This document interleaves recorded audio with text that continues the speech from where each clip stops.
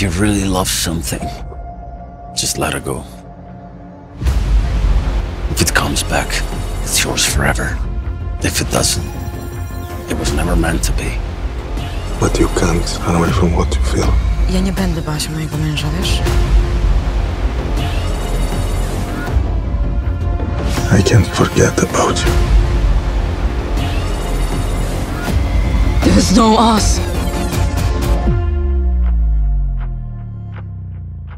We had been impatient to see whom Laura chooses. The ending part of the 365 days is quite disheartening because we have to anticipate the decision taken by Laura. We're quite certain that Massimo cannot harm Laura, Massimo can hurt himself, but he cannot harm Laura. So, is the fourth part of 365 days coming out sooner or not? We want to watch the fourth part sooner. Or is it that the trilogy ends, and do we have to anticipate the decision? There has not to be a fourth movie, but will there be? We have all the answers to your questions. We're going to talk about everything about the fourth movie, so watch till the end. Will there be a fourth part of 365 Days? As of now, the movie has not been renewed. However, it is possible that the movie had entered the production process secretly. All three movies were released in a short span of time. Director did not know that it would become a global phenomenon. But it is a global phenomenon now, and we want to watch more of it.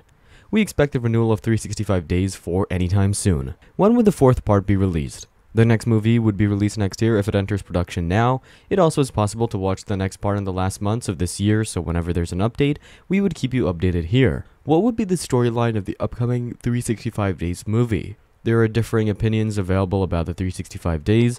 The first part of the movie became an instant hit because of its amazingly new way of telling the story, via musical instances. The storyline was also strong and was executed well by the actors. We love the stubbornness of Laura and the unconditional love of Massimo for Laura. We wanted him to love her, but Laura stopped loving him when she hides her pregnancy, and their relationship sparkling died. So we want to watch how Laura moves on or falls in love with Massimo once again.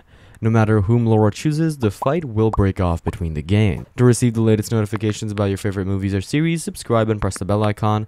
Also, like and share our videos with your friends and family.